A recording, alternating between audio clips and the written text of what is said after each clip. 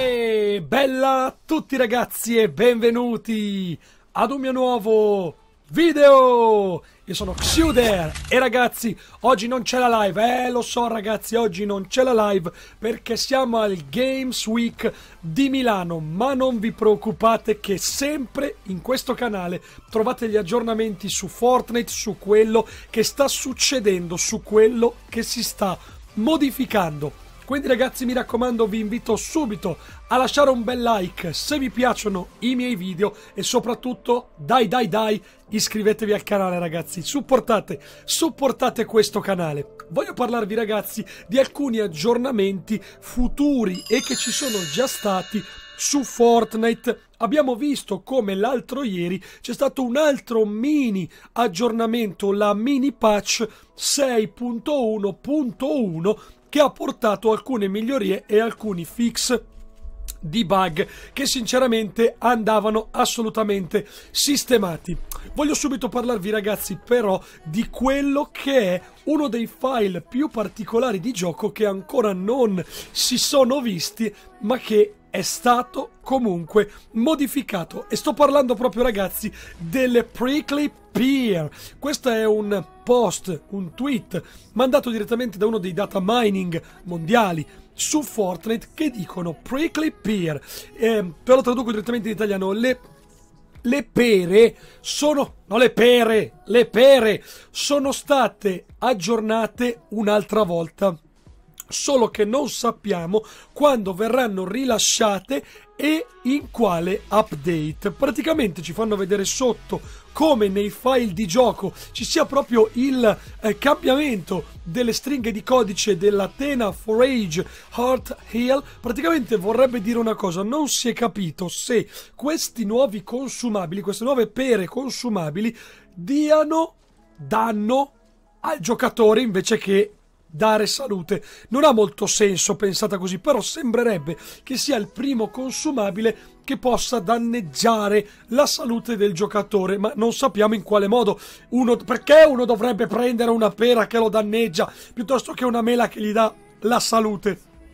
Quindi ragazzi, o sono un consumabile di Halloween, però tutti ci aspettiamo che su Halloween arrivino più che altro le caramelle piuttosto che le pere, nel senso o avranno magari un effetto a sorpresa, nel senso tu prendi una pera, può o danneggiarti o darti un bonus che però deve essere abbastanza importante. Ovviamente ragazzi staremo a vedere, ma di quello che vi voglio parlare ragazzi è il cubo ragazzi, l'isola sul cubo che più continua ad andare avanti, più continua a muoversi e più comincia ad aggiornarsi. Abbiamo visto come ci sono state delle importanti modifiche dopo che l'isola si è fermata sulla seconda runa e ha fatto tutto il suo lavoro che doveva fare, è cominciato ad apparire uno strano liquido viola dall'isola e si vede sempre di più che queste specie di masse di colore viola della forma cubica stanno prendendo il possesso della casa stessa. Quindi tutti ci stiamo chiedendo, ma porca miseria, che cosa succederà a quest'isola? Diventerà un cubo gigante? oppure diventerà magari una fonte di energia che possa distruggere veramente dividere in due la mappa o semplicemente esploderà alla fine del giro delle settime rune rilasciando tutto il discorso del portale oscuro addirittura nella stagione numero 7 secondo me ragazzi secondo me io credo che arrivando verso la fine della season 6 succederà qualcosa con l'isola e con la casa o tra virgolette il cubo che oramai si sta trasformando. Non credo che vedremo molte cose durante questa season, così loro prendono un pochettino di tempo, anche perché stanno già lavorando sulla season numero 8. C'è da dire che però è veramente un bel film quello che stiamo vivendo con Fortnite, queste cose strane che appaiono nell'isola quando meno ce lo aspettiamo, ragazzi. Ovviamente staremo tutti a vedere che cosa succederà ma non ci fermiamo ragazzi perché gli update sono ancora tantissimi. E voglio parlare ragazzi, torniamo intanto sull'immagine di prima, di un altro update che è quello appunto dell'isola che vi ho appena detto, ma quello dell'update 6.0.1 che dice 6.0.1.1 che dice che hanno anche stabilizzato un sacco di crash che succedevano quando entravamo in Fortnite. Succedeva spesso, dicevano, per i giocatori di Switch e di console. E tra l'altro, oltre ad avere stabilizzato questi crash hanno anche fatto delle migliorie per quello che riguarda il sub matchmaking, ma ve ne parlerò un pochettino più avanti, anche perché adesso ragazzi parliamo anche di un'opzione interessantissima che è quella della nostra possibilità di modificare il parco giochi ragazzi. E lo andiamo a vedere assieme allora perché finalmente sono arrivate delle opzioni interessantissime che possono regalare nuove emozioni sulla modalità parco giochi e come state vedendo ragazzi ecco qua basta solo che noi andiamo nella sezione parco giochi e prima di cliccare sul tasto accetta guardiamo su opzioni personalizzate dove si apre un pop-up che ci dà un sacco di scelte per poter modificare le nostre partite a nostro piacimento. Come vedete, la prima scudi. Scudi vuoti vuol dire che si comincia solo con la salute. Si comincia tutto full o si comincia con la piena salute e mezzo scudo. Come vedete la seconda riga, salute completa, mezza salute, oppure una salute penso che vuol dire che ne hai due in poche parole, cioè tu parti con uno e poi hai ancora la tua salute. Rilascia oggetti all'eliminazione è palese quando moriamo. Possiamo decidere se appunto farli cadere o se tenerli. Ed è interessantissimo per le partite competitive tra gli amici. Ci sta a tenersi i propri oggetti. Danni da caduta o sì o no e la figata ragazzi è anche la gravità perché possiamo anche decidere come vedete di ehm, utilizzare un sistema di gravità che ci permette di muoverci molto molto più in maniera particolare. Come vedete le opzioni sono basso normale e molto basso. Quindi interessante il fatto di poter giocare come se avessimo una gravità molto molto particolare.